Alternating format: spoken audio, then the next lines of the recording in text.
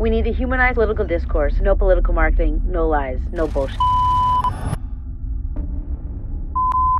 The bigger the citizen participation, the less populism. The stronger the community, greater the democracy. We must regain confidence that politics can and must solve the real problems of citizens. Citizens lists will increasingly have an impact on electoral processes. More democracy. Either the achievement of politics in people's lives will be well communicated, or politics will cease to matter to people.